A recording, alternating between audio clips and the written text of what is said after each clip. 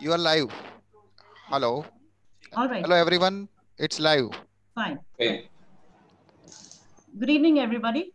Uh, today we are having a webinar on uh, cardiac uh, situations for our medical students of Parul University. At the on onset, I would like to uh, thank Parul University for giving us this opportunity to talk about uh, chest pain and uh, management of myocardial infarction. We have two very eminent cardiologists with us today. uh, who will be uh, talking on these topics. So I would request the students, please put in your queries in the chat box. Once they finish their talks, we'll get to your queries. Our first speaker is Dr. Krishnakant Sharma, an interventional cardiologist at Tricolor Hospital and Baroda Heart Institute. He will be talking on an approach to chest pain. Uh, chest pain will be a very common emergency attended by young interns and young medical officers. So this is a very vital topic. And uh, uh, Dr. Sharma will be talking on symptom science investigations, including ECG and cardiac biomarkers. And uh, over to you, Dr. Sharma, for your talk on an approach to chest pain. Okay. Uh, good evening, everybody. Uh, all attendees, welcome on this webinar. I'm uh, starting this the approach to chest pain. Okay, I think I'm audible to all and uh, should be going fine. All these things throughout the presentation. This is a talk. Uh, at the end of this talk, I would uh, think that you sharpen your diagnostic skill, you broaden your differential diagnosis, and you identify the causes of chest pain, which are emergency and non-emergency causes. And you can at least order initial investigation and evaluate that in a particular manner.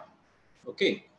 So what is chest pain's importance? In uh, most of the times in emergency situations, the acute chest pain is a very common symptom and globally 7 million emergencies visit annually for chest pain only and in that 20 to 30 percent are having acute coronary syndrome what is acute coronary syndrome we come in a, to know in subsequent slides that is coronary ischemia reduced blood flow to the heart is acute coronary syndrome and almost 65 percent of those admitted or detained for that chest pain can turn out to be non-cardiac. That is a good thing because cardiac pain is uh, somewhat dangerous. So acute coronary syndrome is the number one cause of the death world out, worldwide, account for 12% to 15% of deaths and nearly 3% of ACS if we not take proper history and evaluation and not retain them, they are missed or discharged from the emergency. So in the chest, what are the organs which are responsible for pain? Heart, aorta, lung, pleura, esophagus, stomach, mediastinum, musculoskeletal system, lots of ribs, muscles are there, lots of nerves roots are there, and sometimes it's related from the brain. That is a psychogenic chest pain is also a part of chest pain. So come to the major cardiovascular causes. They are coronary artery disease, structural coronary vessels are there which supply the blood supply to the heart, the myocardium, and that when affected by narrowing or blockage or sudden formation of clot, the turn into the stable angina pectoris, is one of the condition leading to chest pain, unstable angina leading to chest pain, and myocardial infarction leading to chest pain. Some tone related disorder, vasomotor disorders of coronary vessels, vasospasm and all that, that is variant angina and microvascular angina. The heart is having pericardium, which is when inflamed can give rise to chest pain, that is pericarditis. The muscle itself inflamed and give rise to chest pain, myocarditis. Valves, because of the straining, sometimes give, give rise to chest pain, that is aortic stenosis, mitral stenosis. The aorta, the major vessel coming from the heart when dissected in the layers of his its wall that can also give rise to chest pain. That is aortic dissection and hypertrophic cardiomyopathy one of the condition of heart muscle. When the blood flow from itself pumping from the heart is obstructed by muscle itself and leading to coronary ischemia and straining type of chest pain. These are the causes of cardiovascular chest pain. There are lots of other chest pains gi causes skeletal causes lung issues are there leading to chest pain. So first of all, when a chest pain comes to you in an emergency or OPD, you have to be clear that it's an emergency or non-emergency situation. So some are the causes which are emergency are acute coronary syndrome, pulmonary embolism, aortic dissection, esophageal rupture, pneumothorax, and pneumonia. So these are the emergent conditions. And once such type of patients comes, initially you have to triage then if you feel the patient is looks very sick, the chest pain with complaint of chest pain, it's very sick, get an immediate thorough examination like pulse, blood pressure, is respiratory rate, saturation and all. And if you found there is a significant abnormal pulse, abnormal blood pressure, dyspnea, then you have to shift the patient in the emergency care or uh, ICU. And with the starting the treatment, like IV support, oxygen, monitoring, ECG, you have to evaluate further by history and examination. And you go by a emergency step like airway breathing circulation vital sign examination. And by the history and examination you can focus your examination on a particular system like cardiac pulmonary or vascular. So this is a condition when a chest pain with abnormal vitals you come to come across so now we come go by go step by step in chest pain evaluation how can conclude the diagnosis on history and examination and uh, give some investigation profile for particular patient. So always patient have some point to the pain. Take a good history and 50% your work is done by history only.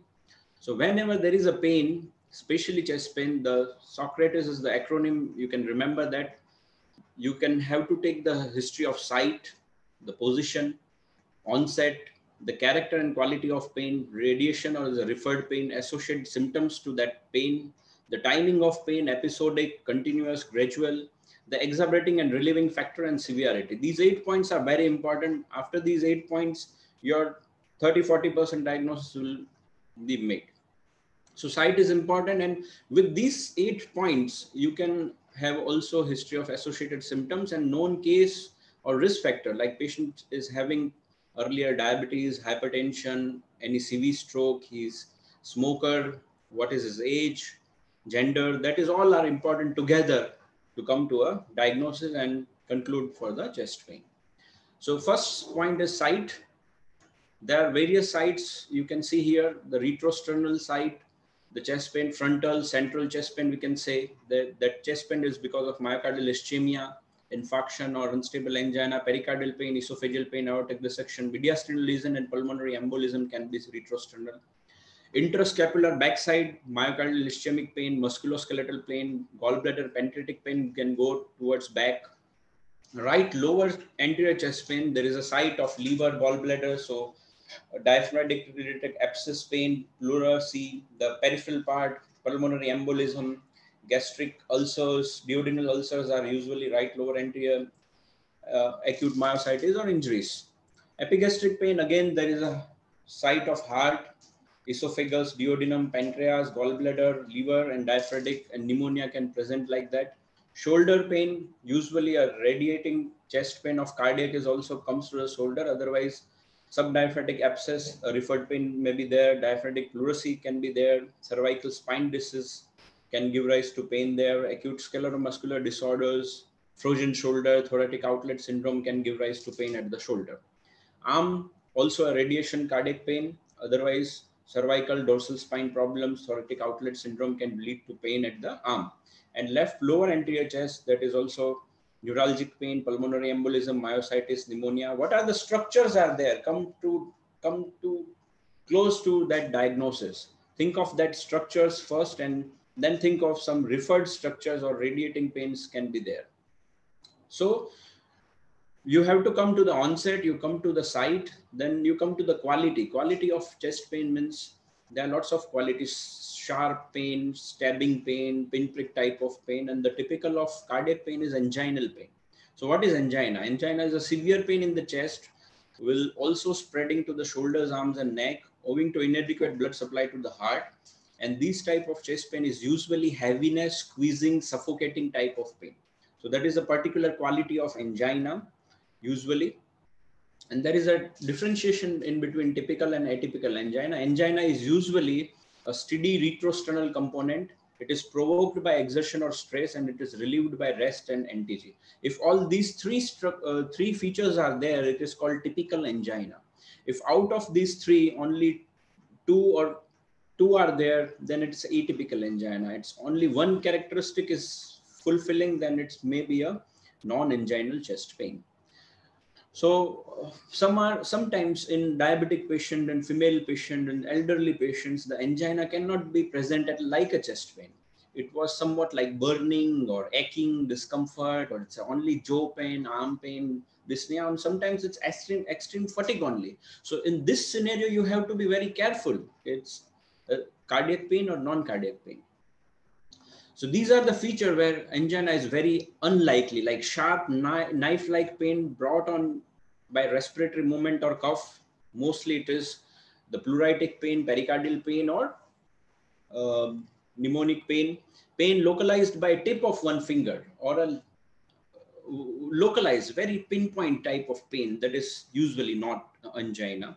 Pain reproduced with movement or palpation of the chest wall is usually skeletomuscular or respiratory like the constant pain that persists for many hours and days that looks like angina because angina is episodic. Very brief episodes of pain that last for seconds is also non-anginal pain. Pain in the lower abdomen and radiates to the lower limbs are usually non-anginal. So by the time of taking history, you can come to know that pain is cardiac or non-cardiac. We can discuss more uh, in further slides. So whenever the pain is come to in your mind or in your uh, examination part, history part, you have a word of radiation and refer. So remember radiation is the pain which is having a continuous path. So cardiac pain can be radiate to the chest, to the left arm, shoulder, jaw, arm, and it can be a referred pain. There is no central pain, but only pain in the shoulder.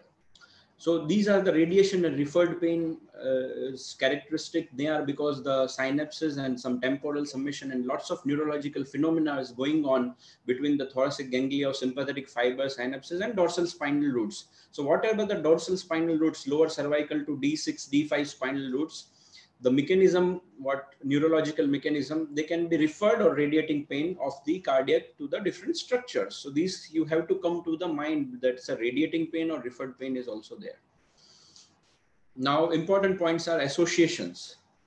Chest pain is exacerbating and relieving factor. And what are the association? It, at which point of time they are coming? With eating, they are coming after postprandial means after eating it is coming. With inspiration, it's coming. With coughing, it is coming with local movements, it, it is exacerbating. Associated are nausea, vomiting, dyspnea, malaise, or lightheadedness. So by these points, we can differentiate like inspiration, expiration, then lungs are the first probability, eating, then GI tract, local movements, musculoskeletal, nausea, vomiting, then cardiac, or can be GI tract, dyspnea is lung and cardiac, extreme fatigability is cardiac, aortic.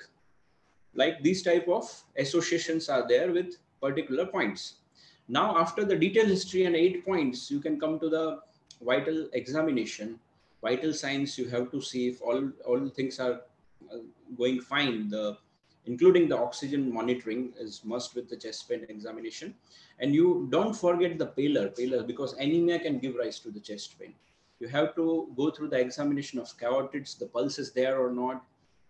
Is there any um, volume disturbances from radial to carotid or radial to femoral site. The lungs are oscillating well or not, cardiac sounds are well or not, the thoracic cage is in the proper shape or not, abdomen is tender or not, peripheral pulses, never forget examine peripheral pulses, otherwise you can miss aortic dissection sometimes on clinical examination and skin you have to look. And after these points, you have a, some basic investigation in chest pain like ECG, chest x-ray and blood uh, investigation for cardiac it is cardiac enzymes for gi tract you are amylase lipase liver functions and basic blood profile and routine blood investigation and followed by you can go for a echo usg abdomen ct scan and nuclear imaging chest x-ray etc so now after this uh, total history you can conclude that the chest pain is off the wall or some covering structure like pleuritic or pericardial or it's a visceral pain. So chest wall pain is usually sharp, precisely localized, reproducible, increasing on palpation and movement. Pleuritic respiratory chest pain is somatic pain. It's sharp, worse with breathing and coughing. And visceral chest pain, like cardiac chest pain, is not a particularly localized, poorly localized aching and heaviness type of chest pain. So now after the whole history and examination, you can come that the cardiac pain. So it may be a myocardial ischemia, MI or acute coronary syndrome, then vascular, if pulses are abnormal, dizziness is there, pain is going to back, then it's aortic dissection, pulmonary, then pulmonary uh, embolism, pneumothorax, pneumonia, and pleurisy are the categories which give, can give rise to chest pain. Pericardial or tamponade can give rise to chest pain and esophageal rupture.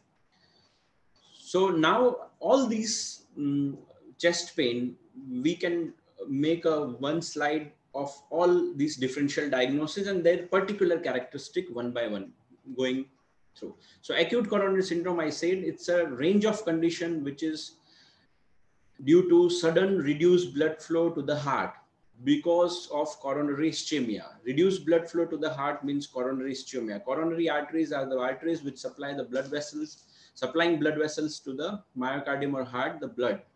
If they have having narrowing or clotting in that, that can lead to a reduced blood flow and resulting is coronary ischemia is resulting in chest pain. The terminology used is acute coronary syndrome. Acute coronary syndrome itself having a terminology uh, sorry, range of conditions like stable angina, unstable, uh, sorry, uh, anginas, unstable angina, and non-ST elevation MI or a uh, ST elevation MI. So in that condition, heart can be damaged or heart cannot be damaged. If flow is reduced and ischemia is there, there is no necrosis of the myocardium, heart is not damaged. If your blood reports are positive, like troponin and myocardial necrosis features are there, RWMA on echoes, then the heart is damaged and that is called myocardial infarction. So differential diagnosis of ACS, concluding the, all these types of chest pain, we come to know one by one by slide. So myocardial infarction pain or myocardial ischemic pain ongoing is usually retrosternal diffuse heaviness. So this is the character and site. It's a usually sudden onset, radiation to the neck and arm, persistent pain for more than 10 to uh, 20 minutes is usually severe, patient sick to the hospital immediately associated dyspnea diaphoresis is there, nausea, and it's usually reproducible with the exertion. Sometimes it's relieved by nitroglycerin, and again, pain started. Exertional angina is usually episodic pain, usually for five to 10 minutes, onset with the same kind of exertion, resolves with the rest with sub sublingual nitroglycerin tablets or sometimes spray. Response to exertion and rest follow the same pattern. The patient usually say uh, i am walking on a half an hour half an kilometer. I get a pain. I take a rest for five minutes. It's relieved. So same pattern it's exertional stable angina we can say atypical angina usually occurs at red is due to coronary spasm and the pattern remains the same like of anginal pain now what is unstable angina unstable angina is the angina character which is a sudden severe new onset pain or the stable angina, which has become more frequent, more severe, easily provocable. Now it's only a 10 steps, which leads to the anginal chest pain. It's more difficult to relieve. It occurs at rest and lasting for 20 minutes. And these are the patients which having high risk of myocardial infarction. Then, so the acute coronary syndrome pain can be anginal pain, can be unstable angina, or it can be myocardial infarction pain, the characteristic we have discussed. Now, what are the other possibilities when we diagnostic a chest pain of cardiac or other organs which can give rise to or making a differential diagnosis with the chest pain. So first an emergency and other condition we can going discussing in slides. Uh, that is one is pulmonary embolism. Pulmonary thromboembolism is a very dangerous condition. The clotting formed in the lower uh, limbs vessels or abdominal veins that can come to the right atrium, right ventricle, and then plugged into the pulmonary vessels, main pulmonary arteries or their branches in the lungs. And then this condition is known to as pulmonary thromboembolism. Usually that happen after a patient having prolonged immobilization or fracture surgery of the lower limb trauma cancer patients or there is a, some hereditary disorders of the blood can lead to this type of condition, pulmonary thromboembolism. So it's the classical presentation of that pulmonary embolism is a sharp pain, dyspnea, tachypnea, tachycardia, and hypoxia. Sometimes only one of the features are there. Chest pain only is there. Dyspnea is only there. Patient only presented with syncope or shock. Sometimes there is fever, cough, and hemoptysis is also associated. So pain is in this condition usually peripheral and a pleural quality. Pleural pain means sharp stabbing pain, which is localized in the periphery of the chest and that is reproducible with breathing and palpation. So these type of pain, think of pulmonary embolism. Take associated features like patient having some prolonged immobilization, long travel history in the aeroplane, uh, any fracture, cancer, all the risk factors associated with pulmonary embolism, you have to be careful while taking the history of like that. Now, again, another emergency chest pain is aortic dissection. The patient is also having some atherosclerotic diseases earlier or a hypertension which is uncontrolled.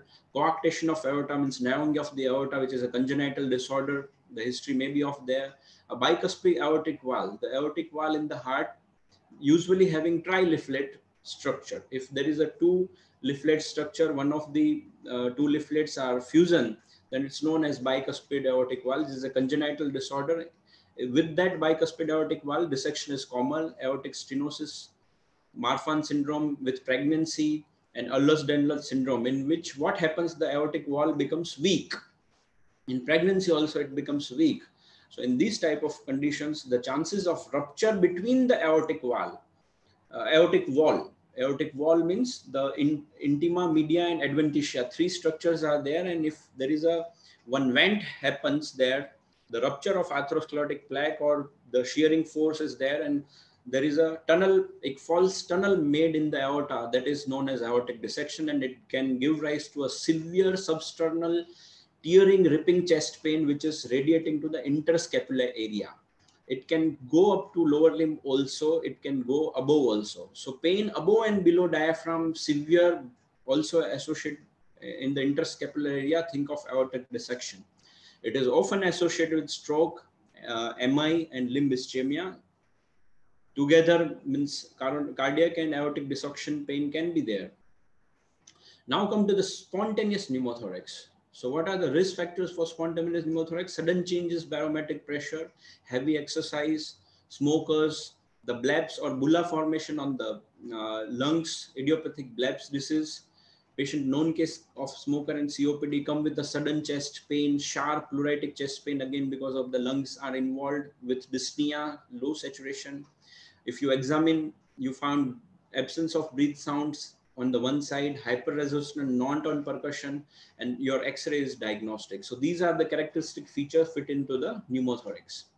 Then esophageal rupture, what is known as Boerhaave syndrome, that is also life-threatening uh, condition after a projectile or a strong forceful vomiting, there may be a tear in the esophagus, which can lead to substernal sharp chest pain, sudden onset, usually after vomiting, dyspnea, diaphoretic, very sick patient, chest x-ray can be normal. They have a subcutaneous emphysema because of the rupture of the esophagus. The air can leak into the subcutaneous spaces also.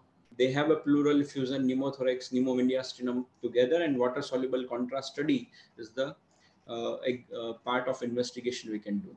Pericardial pain. Pericardial pain, that there are lots of causes of pericarditis. It can be infective, it can be uremic, uh, something like that. The peri pericardial pain is again a sharp, severe, constant pain, and the it's radiate to the neck, shoulders also. The characteristic feature of pericardial pain is worse with a lying down and inspiration. It was with the lying down and inspiration and relief with the leaning forward because as the patient is lying, there is a more blood flow and more friction of the pericardium and heart. Uh, characteristic finding on examination is friction rub. ECG is showing ST segment elevation throughout T-wave inversion and PR per depression particularly. Now pneumonic pain. Pneumonic pain is again sharp and pleuritic pain associated usually fever and cough. And pain usually increases with coughing rales or traps are there, decreased breath sounds are there on a particular pneumonic segment and X-ray is diagnostic. Mitral valve prolapse, that is also a cause of chest pain, which is more common in female.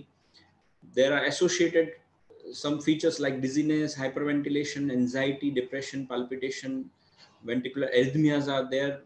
This is the very common condition in females. Almost um, in hundreds, there are five to ten percent uh, peoples are having in sorry in thousands, five to ten patients having mitral valve prolapse. It's a uh, hanging uh, elongated mitral valve structure which is not uh, closed properly and gives rise to straining type of chest pain and very atypical presentation, which can be diagnosed by echo musculoskeletal pain or a chest wall disorder pain. Usually they are localized, localized to the particular size, site, pinpoint, sharp. They increase by position.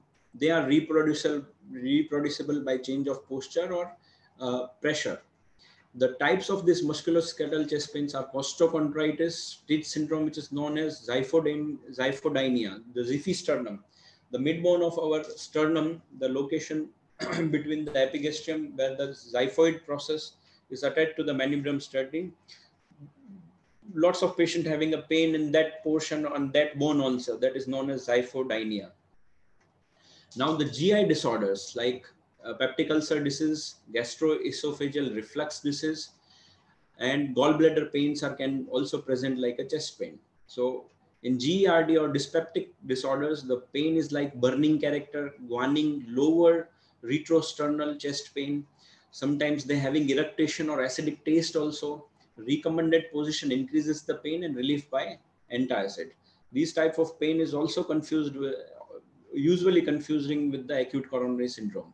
Now there is a esophageal spasm, one of the condition which can present as a chest pain. That is also sudden onset, dull, tight gripping pain in the retrosternum. They exacerbated by hot and cold liquids large food blowers and response to usually nitroglycerin and calcium channel blockers. Peptic ulcer disease, they are the gastric ulcers or duodenal ulcers. Gastric ulcers pains are usually postprandial, immediately happening, boring, dull aching pain, sometimes may awake the patient. Duodenal ulcer pain, same character, but relieved after somewhat eating. The treatment is again antacid and the differential diagnosis we have to make pancreatitis and biliary tract disorders panic disorders or psychogenic pain. They are the recurrent pain, recurrent. The examination looks bilkul, uh, okay, investigations are okay, and unexpected severe pain, and having somewhat other features like palpitation, diaphoresis, tremors, choking, nausea, dizziness, and some uh, neurological symptoms. They are usually depressed kind of uh, people, or um, loss of self control is there, hot flushes is there. So in these types of patients, you have to rule out the psychological disorders and rule out the substance abuse, means heavy smoker, uh, ganja taking, or alcoholic peoples. They can have a psychogenic pain. Now, after these all uh, differential diagnosis, lots of character we have discussed, site we have discussed, the basic investigations for uh, cardiac chest pain we come to because they are very dangerous type of pain uh, ECG we have to do, serum markers we have to do, and imaging studies we have to do. So in ECG, there are lots of features with which favoring the acute coronary syndrome like ST depression, ST elevation, deep T wave inversion. So we come to the another side. Serum markers, we have a CPK MB level creatinine kinase, myo, it's myocardial uh, portion.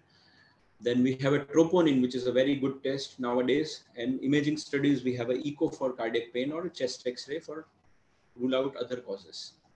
So we come to know in acute coronary syndrome, the ECG early may have only in stable angina, maybe no features. In unstable angina, acute coronary syndrome, the evidence of necrosis are not there because it's a angina only. There is no damage. So there is no any Q wave in the ECG. ECG is showing only ST depression or T wave inversion. The second range of acute coronary syndrome is non-ST elevation MI, means the MI which is not transmural. There are ST segment depression, T wave inversion. The positive is evidence of necrosis in the form of troponin, the enzyme which is released from the myocardium can detect in the blood. So ischemia can lead to injury now and infarction has started. And last is the ST elevation MI. The evidence of necrosis is present and ECG early and late features are also there like ST elevation and then late the evolving changes of MI. How this happen acute coronary syndrome in the coronary vessels, the uh, there is a, uh, the atherosclerotic plaque is there and when, when that plaque is ruptured, there is a formation of clot there and the blood vessel is clogged. So this is the ECG finding of one of the acute coronary syndrome. You can see in 2, 3 AVF, there is a ST elevation with going upwards. So this is a typical of inferior wall MI, acute coronary syndrome, inferior wall MI. This is a ECG in which ST elevation you can see in 1 AVL and V2, V4. This is a typical with reciprocal changes in 2, 3 AVF. You can see ST depression. So this is a acute coronary syndrome, anterior wall MI. ECG finding um, in again ACS, there is again V2, V4, ST elevation, anterior wall MI, and then the evolving late changes in the V1 to V4, the deep T inversion. So these are the coronary imaging features. The You can see the narrowed lumen of the LAD, the left anterior descending artery. So these are the more ECGs.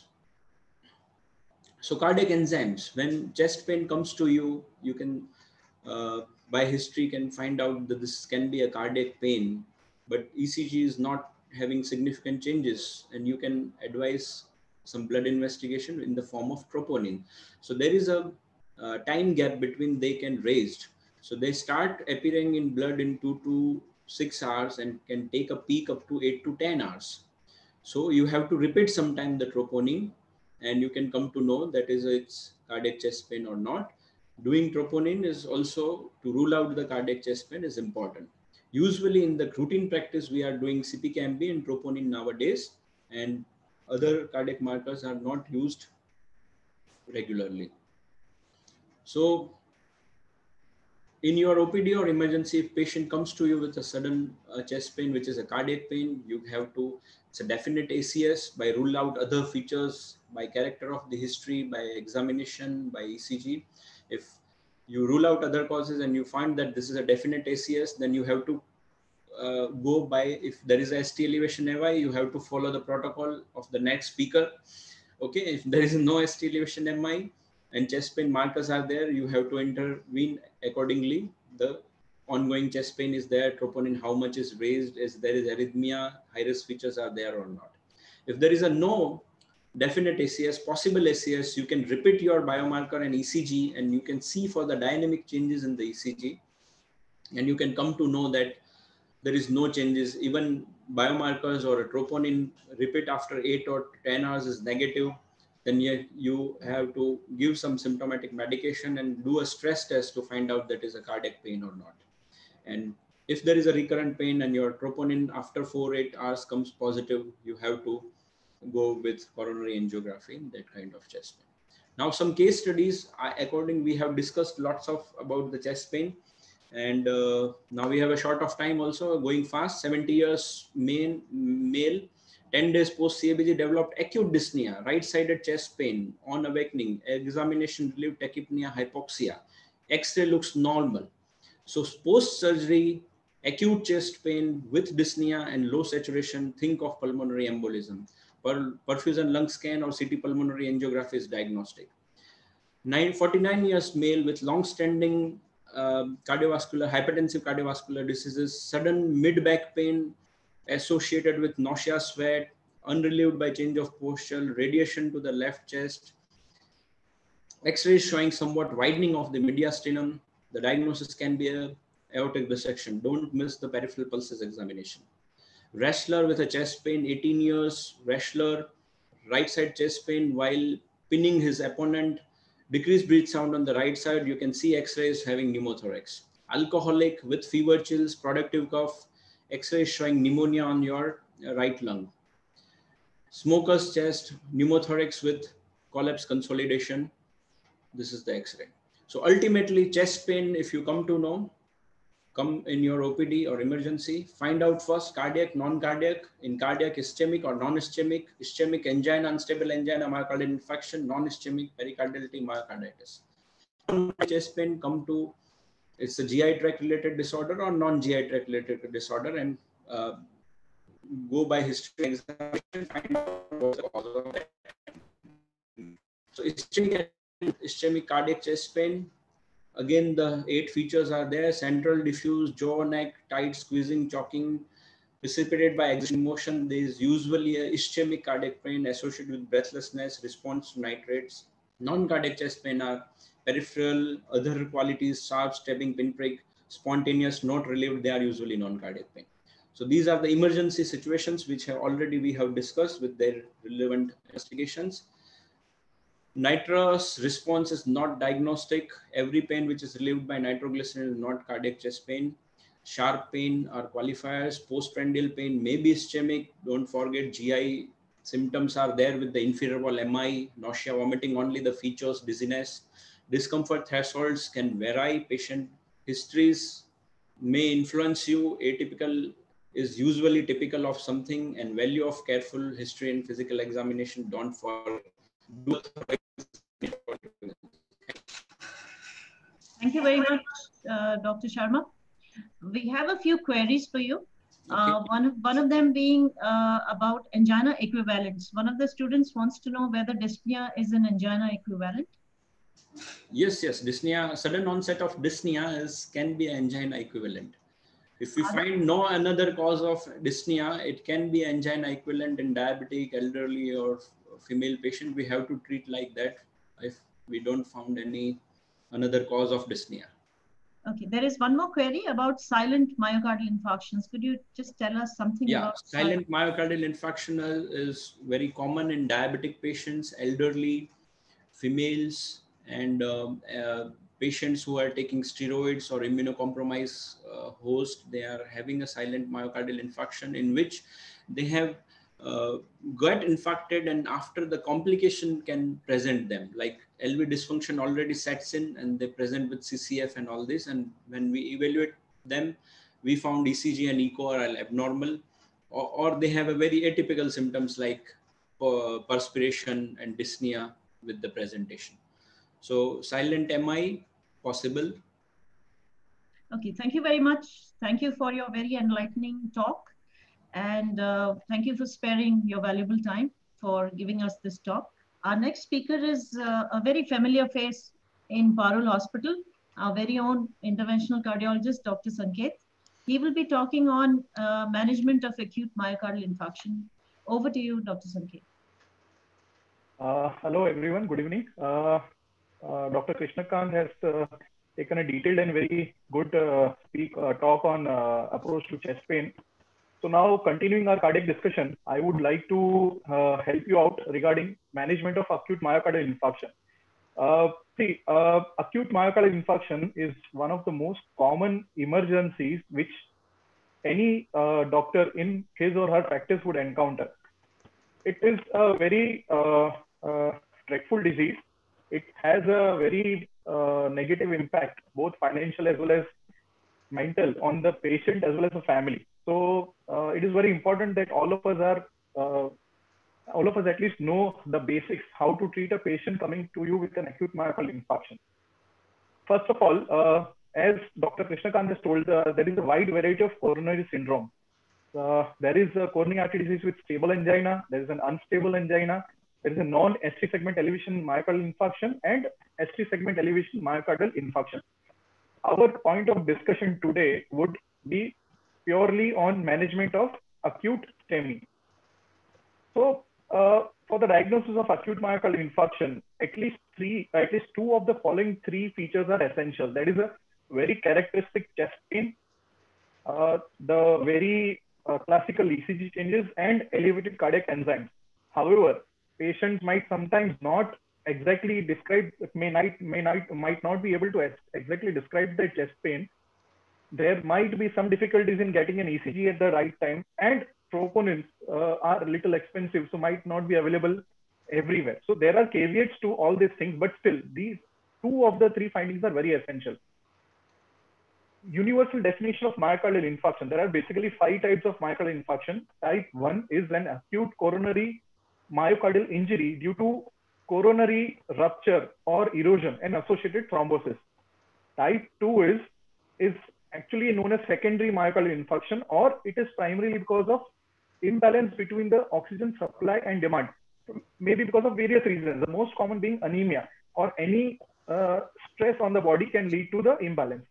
Type 3 is a person who has a sudden death where you did not have adequate time to at least draw the troponins or get an ECG, but the evidence of MI was shown on autopsy.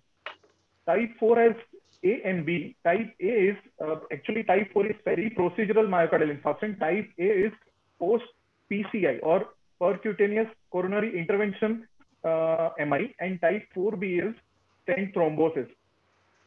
Type 5 is myocardial infarction uh, peri-operative, means peri-CABG. So uh, based on that, you first of all decide whether your patient has myocardial infarction or not. It is very important because STEMI comprises of about 33% of all ACS cases.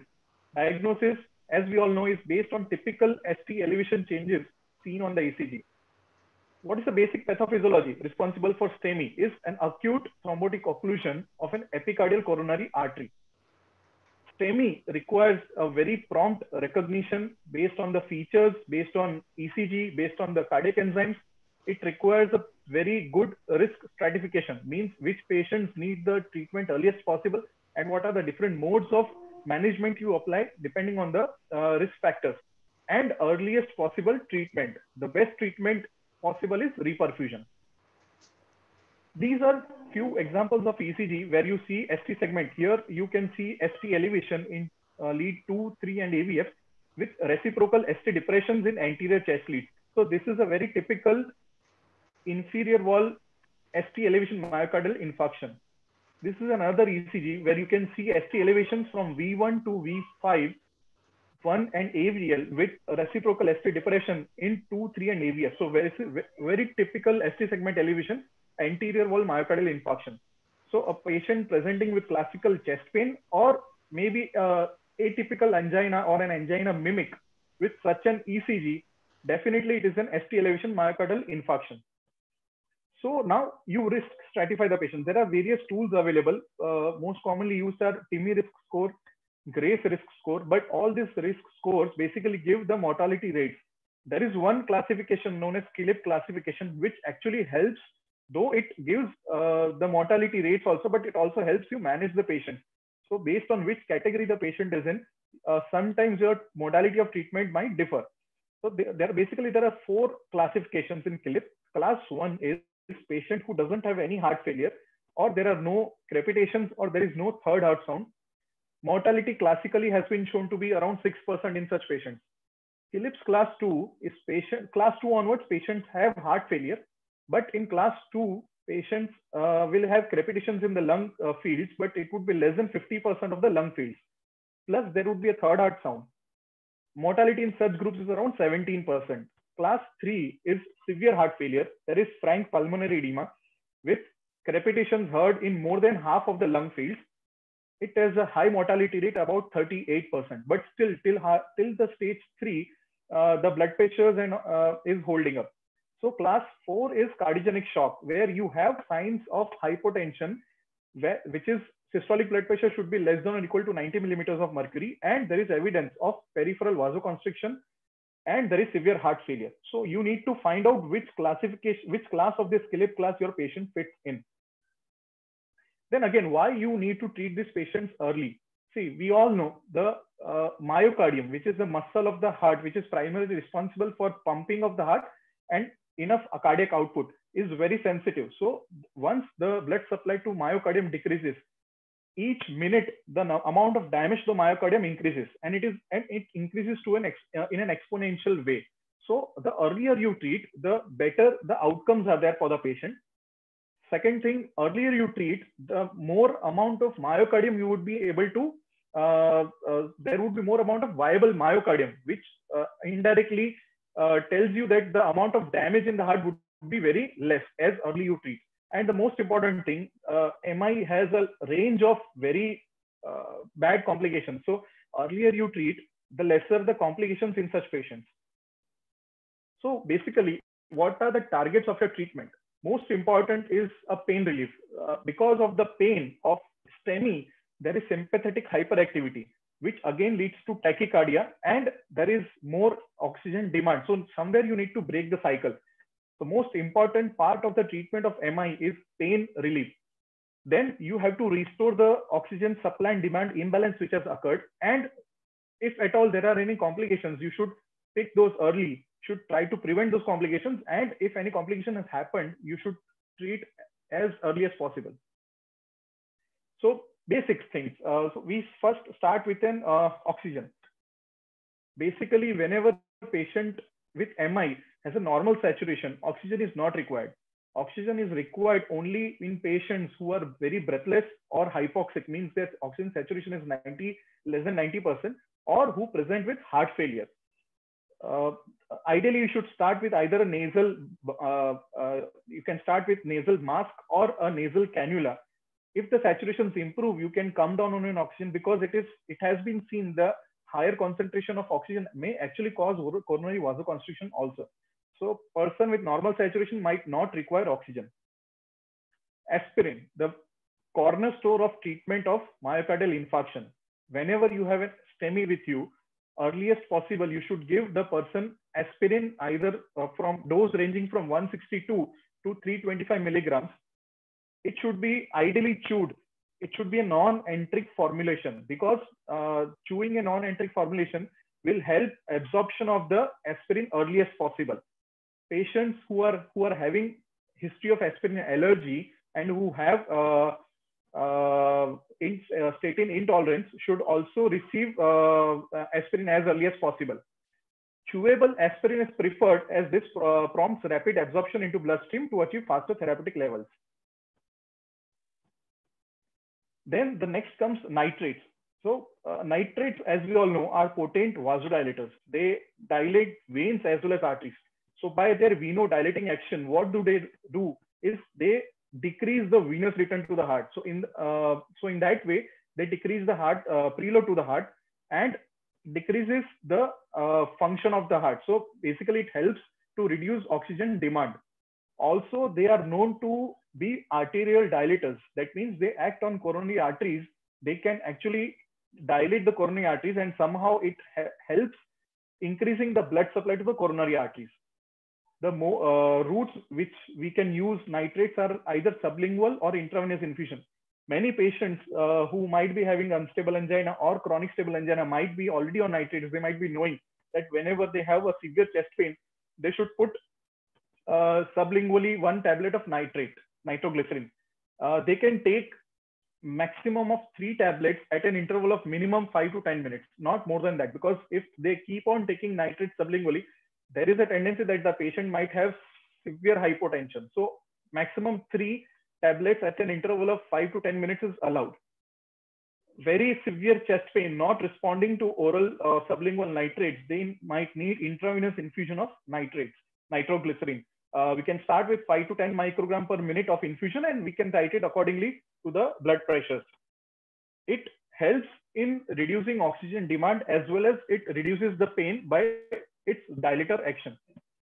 Where nitrates are not to be used, especially when you have an RV infarction, either isolated or in association with inferior MI, patients with hypotension or severe bradycardia, we should avoid giving nitrates to such patients.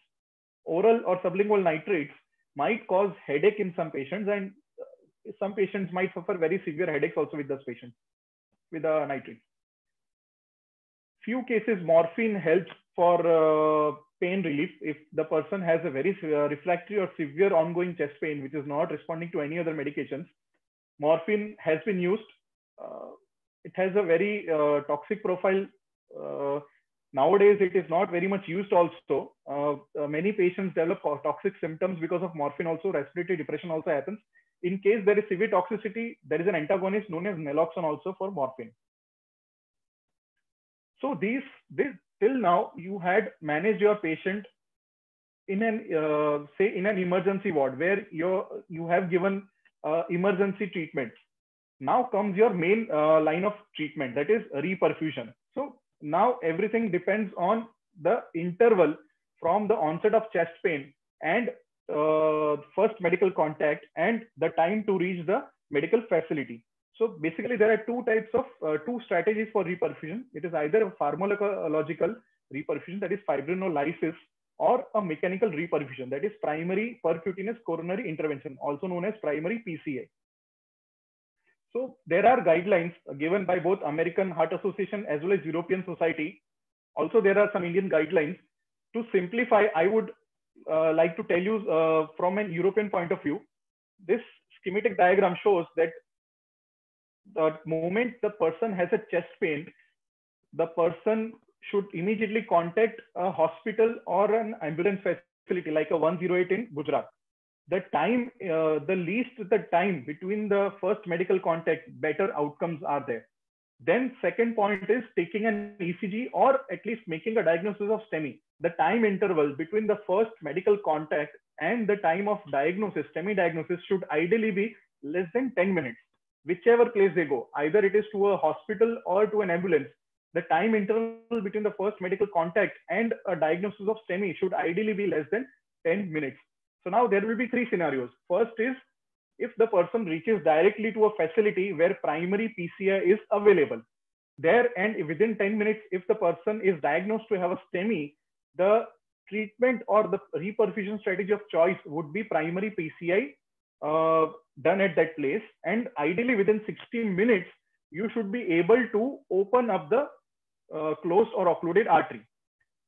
Second option is if the person reaches at a hospital, which is actually non-PCI center, means PCI facility is not possible over there, then again, within 10 minutes, the diagnosis should be made. Then you decide whether you can reach the PCI capable center within two hours or not. If it is not possible to reach there within two hours, fibrinolysis, that is thrombolysis, would be the strategy of choice. And ideally, it should be started within 10 minutes of the uh, arriving at the hospital if the person can be shifted to a facility where you can do a primary PCI within two hours, try referring that patient to that place and the time interval from coming to the hospital, first medical hospital, to your uh, opening of the artery should be ideally within less than 30, uh, sorry, 90 minutes. Okay. Third scenario is where the person has contacted 108 ambulance and again the same condition applies as the person has gone to a non-PCI capable center. Uh, these are all ideal scenarios. Same timings and same things are not possible in Indian conditions. There are many factors. Most common is uh, starting from person recognizing in symptoms, then contacting the medical facility, getting an ECG done. At each uh, juncture, there are multiple reasons for delay most importantly, the most important uh, reason is always financial. So maintaining the time durations is actually difficult, but we should try to minimize the delays as much as possible. Why I'm repeatedly telling you about time, uh, because which is shown in this uh, diagram, it is known as a wave front phenomenon of ischemic cell death. You can see the first diagram where upper area that is dark red is the normal region. Below is the pink region, which is actually having ischemia. This is 15 minutes after onset of chest pain. At 40 minutes, you can see a yellow area developing in the ischemic zone. That is the necrosis happening. It progresses so fast that in within 30 hours, almost more than 60% of the ischemic area has become necrotic. And by six hours, almost 80 to 90% has become necrotic. So the earlier you treat, the maximum chances of you surviving the myocardium. Once it necro, it becomes necrose, it is dead. So it cannot function and that leads to decreased ejection fraction of the heart. So now the true strategies. The first is primary PCI. So primary PCI has been shown to achieve superior reperfusion outcomes. Why? Because we are seeing with our eyes there which artery is occluded and we can do dedicated infarct related arterial revascularization. Plus, it is associated with less complications, less deaths, and less long-term complications which are possible with fibrinolytic therapy. So current guidelines, what do they say?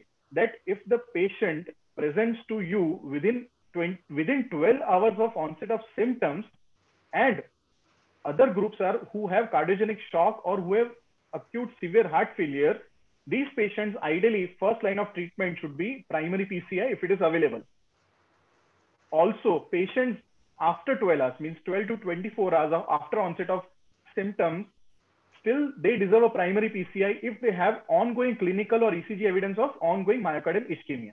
So primary PCI is always, whenever available, first treatment of choice.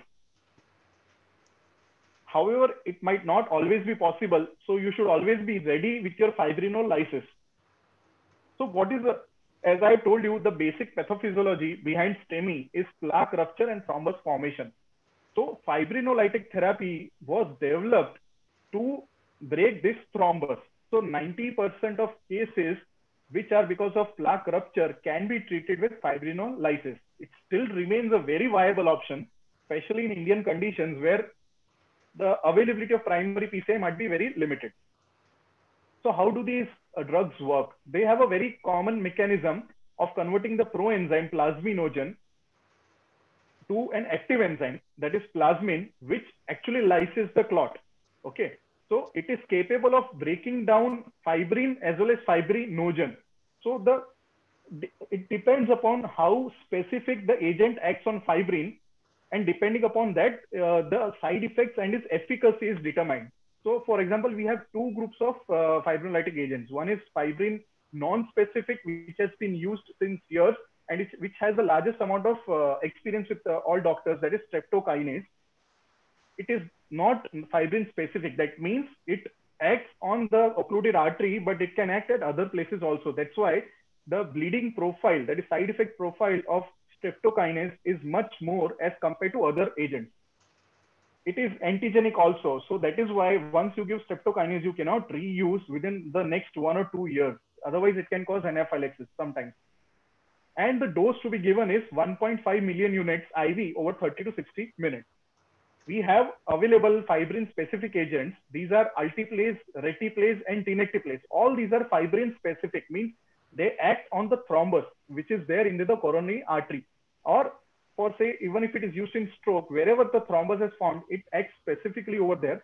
They don't have antigenic reactions and their efficacy is far better as compared to streptokinase. But only problem is they are far more expensive as compared to streptokinase. So these are the dose of uh, various fibrinolytic agents we use. Streptokinase is 1.5 million units given over 30 to 60 minutes. Alteplase is 15 milligram bolus. Then you have to give a 0.75 milligram per kg over 30 minutes and then 0.5 milligram per kg over the next, uh, next 60 minutes. Reteplase is given as a double bolus 10 units over 2 minutes and then a repeat 10 units after 30 minutes.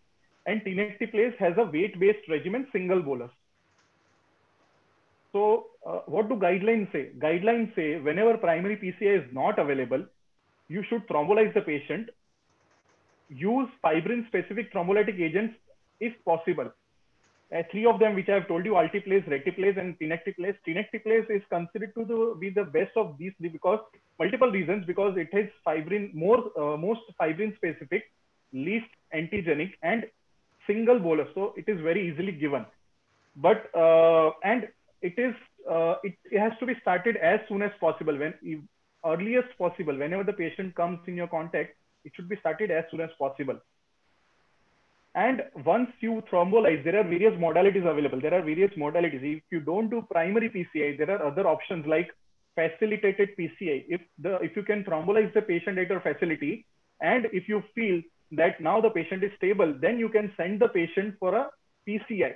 So once you thrombolize the patient, stabilize the patient, and then if you send the patient for PCI, it is known as facilitated PCI. You are facilitating the procedure there are certain groups of patients where they do not respond to fibrinolysis. So they are called failed thrombolysis. What does failed thrombolysis mean is either the pain has not subsided or it has increased.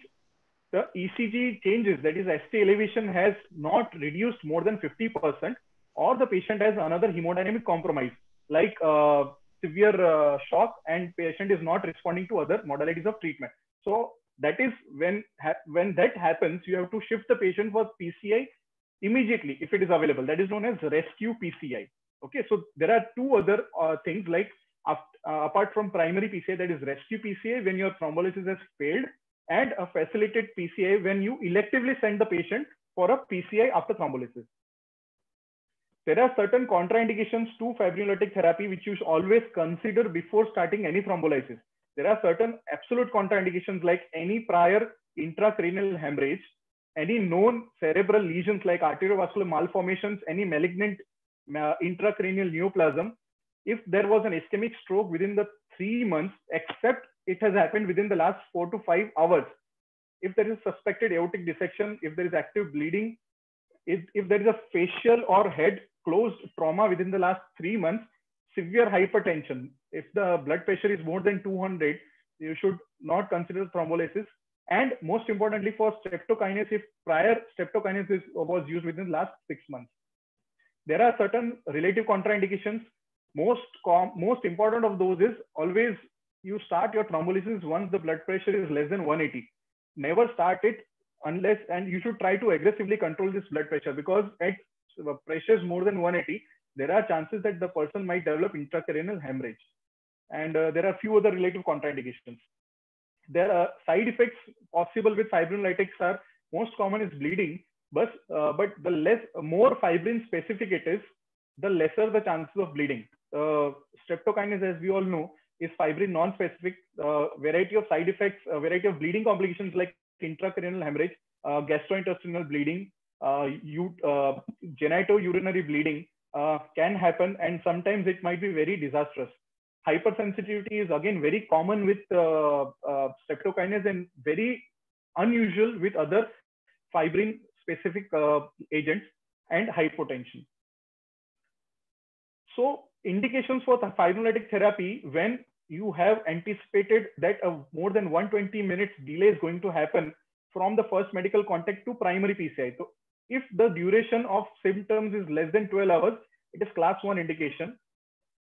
If the duration of chest pain is more than 12 hours, still you can send the patient, for, still you can thrombolyze the patient considering that if the person is very sick and eh, there is a very large MI which has happened to him, and where you should not thrombolyze is non-ST elevation MI and when there are ST depressions. So that is class three. You should never thrombolyze such patients unless you know that it is a true posterior wall MI where you see only ST depression in V1 to V4. There is no ST elevation, but there is only ST depression in V1 to V4, which is actually a mirror image of uh, mirror image which is seen in posterior wall MIs. So up, once you have thrombolized the patients, what are the adjunctive treatments uh, which uh, which you should start? So most importantly, anticoagulants, uh, either heparin or low molecular weight heparin. Heparin weight adjusted either in an infusion or as bolus doses should be started and should be continued for at least three to five days in such patients. That prevents your uh, uh, thrombosis in uh, and clot formation and peripheral embolization. Antiplatelets, most important part of your treatment. As I've already told, aspirin loading dose to be given. Along with that, one more antiplatelet has to be given. It is known as dual antiplatelet strategy. So the second antiplatelet can be a P2 Y12 antagonist like clopidogrel, prasugrel, or ticagrelor. So loading dose of those antiplatelets should be given at presentation and these dual antiplatelets in maintenance dose should be continued lifelong. Statins, again, uh, loading dose has to be given on presentation and it has to be continued. Statins have shown to decrease uh, future events in myocardial infarction patients by controlling the cholesterol levels. Beta blockers. Beta blockers form a very important part of management because they reduce the heart rate in that way they decrease the oxygen demand. Also they uh, help in remodeling. So it prevents re- was remodeling and it helps in maintaining a good level of uh, oxygen uh, supply and demand ratio. ACE inhibitors and ARBs in various studies they have shown to prevent adverse remodeling happening in the heart after an MI so these drugs should be started at the second or third day or at least before discharge and these are to be continued. Should avoid giving such medications when the patient is has a tendency to hypotension. Like if the pressures are persistently less than 90 millimeters of mercury, should try avoiding these medications. Diuretics, especially aldosterone antagonist, spironolactone, also have shown to reduce uh, mortality rates and as well as they have shown to prevent adverse remodeling in such patients. So this also forms an important part. Most important, they should stop all types of addictions and rest for at least three or five days is very important. What are the possible complications? It can be divided into mechanical, electrical, inflammatory, and thrombogenic. The most disastrous of such complications are cardiogenic shock or uh, cardiac structure or an complications like ventricular should be diagnosed early as possible and they should be treated earlier possible. Otherwise, they, sometimes they might uh, uh, turn out to be very uh, uh, life threatening. Uh, last, I would try to um, summarize with a case example. See, you have a 50 years male came to you with history of chest pain and dyspnea since the last three hours. On examination, his pulse rate is about 110 millim, uh, per minute, which is regular. Blood pressures in supine position are 90 by 60 uh, millimeters of mercury. The respiratory rate is 40 per minute. He has on respiratory examination bi bilateral basal creps, but it is less than half, uh, less than 50% of the lung fields. On CVS examination, you have a systolic murmur at the apex. Saturations are 90% at room air. So from this information, you know that the patient is in heart failure and he's in cardiogenic shock because his blood pressure is 90 by 60. This is his ECG. We can see ST elevation in V1 to V5 with reciprocal depressions in 2 3 waves. So it is an anterior wall myocardial infarction, STEMI, with heart failure, with cardiogenic shock. So what, uh, from this discussion, what you know is you should give oxygen because the saturation is 90%. Patient's respiratory rate is more than 40 per minute. That means he's in failure. He might require ventilation or at least a BiPAP or an invasive ventilation. Nitrates are to be avoided in such patients. Why? Because the patient's blood pressure is 90 millimeters of mercury. So he is in hypotension. He is in Killip's class 4 because although he has less than 50% of creps in lung field, but he has cardiogenic shock. So he comes into class 4. So very high mortality risk. And most important, this patient, if you have a primary PCI facility, you should always go for a primary PCI. Multiple reasons because he is in shock, he is in heart failure. So primary PCI would have a better outcome as compared to fibrinolysis. But still, if you do not have a primary PCI facility, or if the chances of shifting him, the time gap is more than 120 minutes, you should always thrombolyze such patient with adequate cover of inotropes and ventilation. So that uh, can open up the artery, whatever uh, flow he can achieve, it will help him to go for a facilitated PCI. So with that, I conclude. Uh, if uh, there are any questions, I would invite. Thank you. Thank you very much, Dr. Sanket. There is one question. Uh, we all know about the golden period, that is one or two hours. What if a patient comes after six hours and up to 24 hours? Do we still go ahead with thrombolysis? Yes, that's what I told. Up to six hours, we can thrombolyze. Uh, up to 12 hours, if you do not have primary PCI facility, you can thrombolyze the patient. Okay. But ideally, if you have any, uh, if you have facility with you for doing primary PCI, that always should be a first modality of treatment.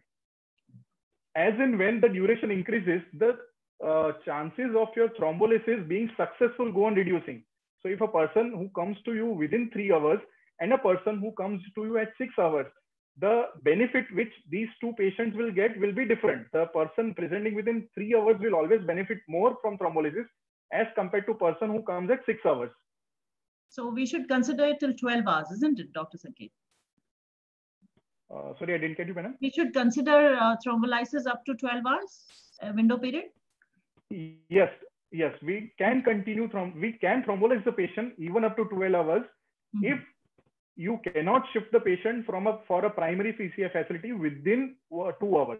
That is the most important point. Mm-hmm. If still you are able to shift him to the PCI facility, and there also, if they can take up the patient immediately, if all finances and all matters are solved, sorted out, and if there is an assurance that he would be uh, in the cath lab and the procedure uh, means the artery would be opened within two hours, then you should send if you have all this reassurance. Otherwise, thrombolyzing the patient is a wiser option. Okay. There is one more question, a little unrelated.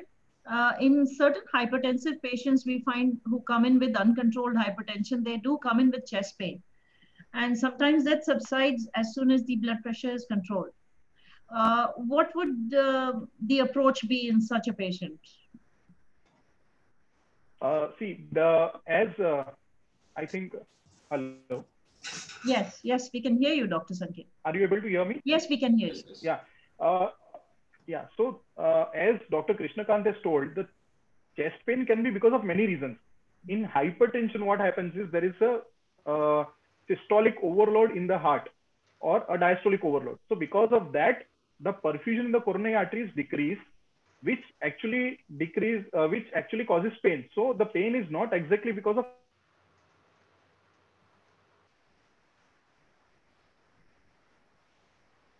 I'm sorry, I think we've lost you. Uh, I think every chest pain uh, is considered as acute coronary syndrome. You have to look for ECG changes and cardiac markers. In hypertension, what happens that afterload is more. So there is a supply demand mismatch, which leads to chest pain, leading to coronary ischemia.